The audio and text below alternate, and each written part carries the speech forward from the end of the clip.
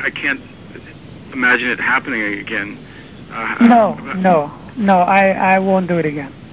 I, I, I said uh, at the beginning of last year, 1995, I said to myself from now on, no longer will I be uh, negotiated into trying to make a pop album.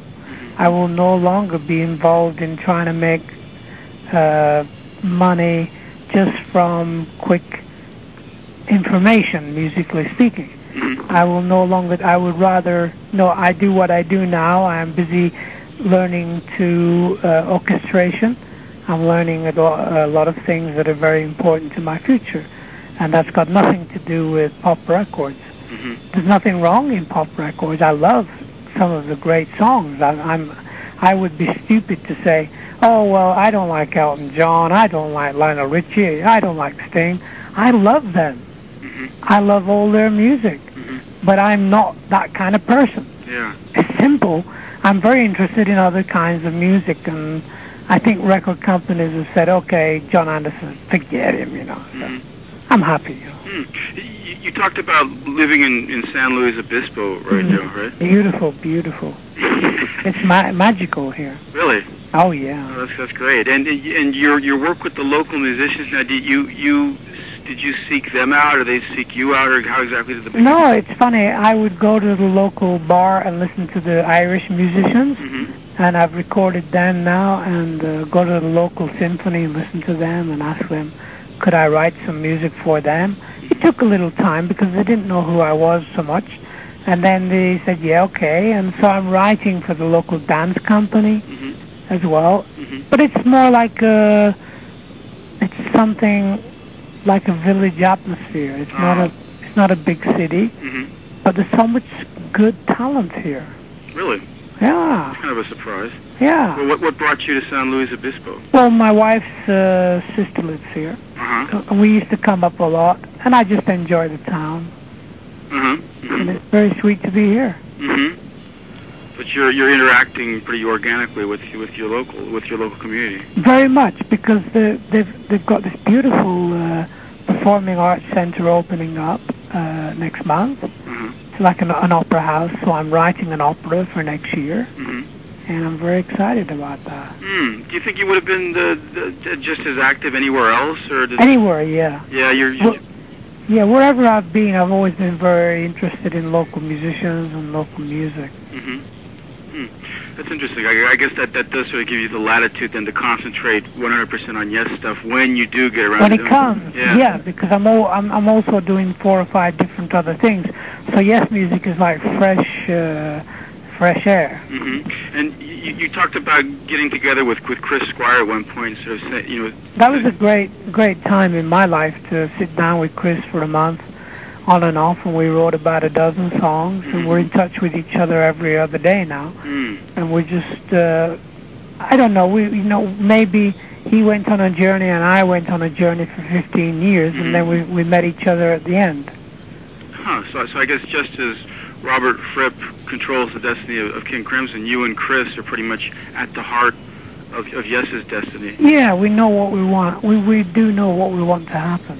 Is, is there any sort of struggle as as to who pulls the strings in Yes? I mean, there have been so many people throughout the years that it, it, it, the, the, the power could lie in many hands. It Just It's so different. It's like there's so many different ways of creating the music that uh, you'll hear. You know, the next album and the new music we're going to be re- writing and recording in the next two months is very different than most Yes music that I've been involved in. So I'm very happy about that.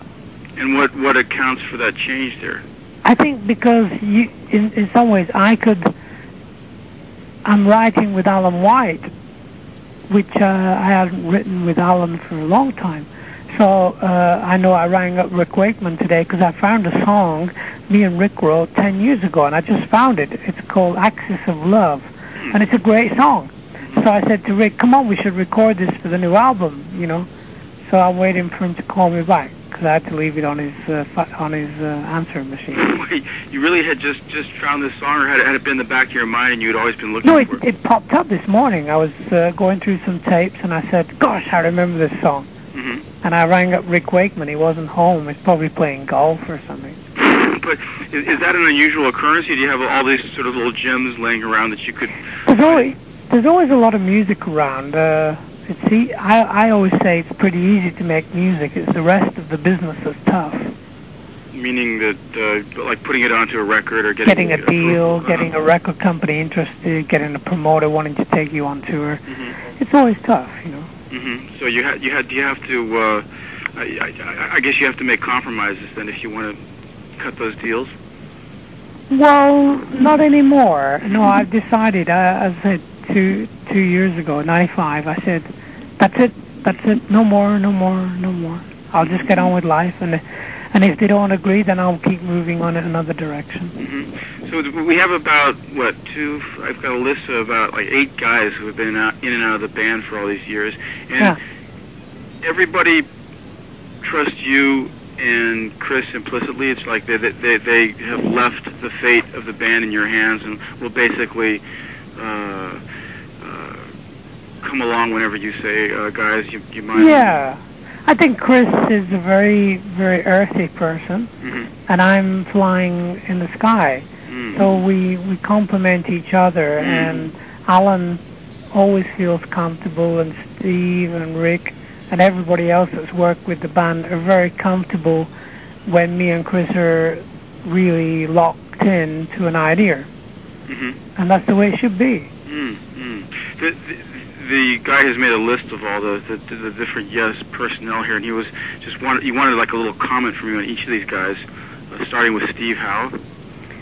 Steve Howe is a brilliant guitar player, He's a brilliant guitar collector. He has the most incredible collection of guitars. It's like he's a guitar, you know, himself. He, he's just this magnificent uh, being who just seems to play guitar all the time. I don't think he, he doesn't do much else. He he doesn't. He eats a bit, but that's about it. Let's see it. Alan White. Alan White is your perfect uh, harmony person. He gets on with everybody. He's an he is a very very powerful drummer. He, he he's like a, juggernaut train, and he's he's so in time with the pulse of uh, our music. And he, he played on Imagine. So what else did you say? Rick Wakeman. Rick Wakeman's crazy. But he's also still got all the talent that he ever had. Uh, remarkable musician. Uh, he tells terrible jokes. Some sometimes they're okay, but you know. Tre- Trevor Rabin.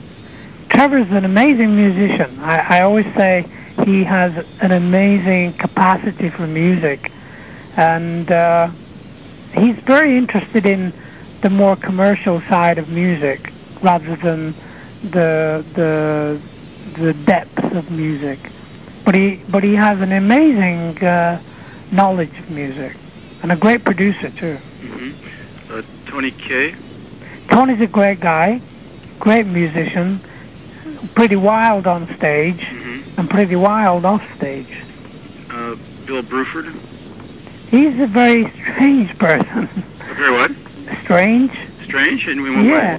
Well, he seems to be a very depressive. He seems to be a very depressing person. hmm Every time I see anything written by Bill, it's very depressing. He doesn't seem to enjoy anything he's ever done. Of, of, of, of 100% of his work in the last 25 years, I think he likes about 5% of it. But I, I, I still quite, for my part, I think he is an extraordinary visionary as a percussionist. Hmm. Hmm. Do, do you think he's very English? Very. Yes. Okay. Uh, and then we, in parentheses here we have uh, Tony Banks. Peter Banks. Uh, Peter Banks. I'm sorry. Yeah, Peter's a sweet guy. He was a great guitar player with the band in the first two years of the band's life. Mm-hmm. And uh, he doesn't really have very happy memories of being with Yes, which is very sad. But it's very hard to be in his shoes because he's watched Yes